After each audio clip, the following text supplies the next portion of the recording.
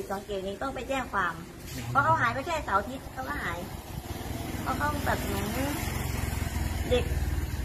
มีปมด้อยนิดนึงพ่อแม่แต่ก่อนแยกเหมือนไม่ได้อยู่ด้วยกันเหมือน พ่อแม่ทำงานอยู่กับยายอย่างนี้ พวกเด็กวัยรุ่นเขาก็มาอยู่นี่เหมือนเรียนหนังสือเขาเรียนไม่ค่อยเก่ง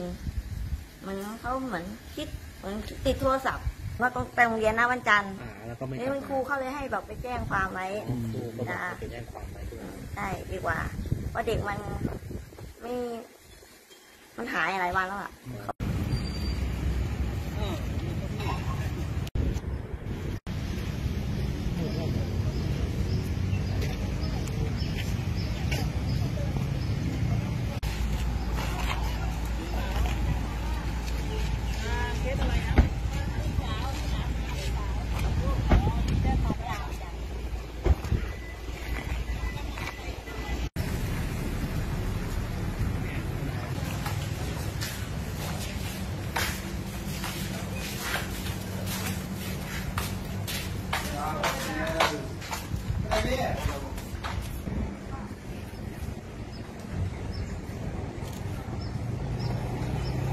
อนพวกนี้ก็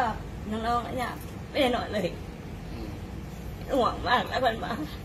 พยายามตามหาใช่ไหมได้พยายามตามหา เพราะว่าทั้งคืนเพราะว่าก็เป็นห่วงเรื่องว่ามันเป็นชายแดนด้วยใช่มันยังเด็กมันยังเลี้ยงตัวเองไม่ได้เราเลี้ยงมันตั้งแต่เด็กเราสอนมันแล้วเราอยากให้มันได้ดีเนี่ยกลัวไหมว่าจะเอาออกไปนอกประเทศอะไรเงี้ยแล้วก็ ไม่ได้คิดอย่างนั้นแต่ก็กลัวเขาแบบไปตบไปฆ่ามันมากกว่าเพราะกลัวแบบแบบนักเรียนสมัยนี้แบบพวกเฟซบุ๊กแบบนี้นัดกันไปตบไปตีกันแล้วก็ฆ่ากันเห็นมาเยอะค่ะอยากฝากเตือนอะไรกับเยาวชนอยากให้ผู้ปกครองดูแลหลานให้ดีมากกว่านี้ เอาใจใส่เขามากกว่านี้ค่ะขอบคุณค่ะขอบคุณครับ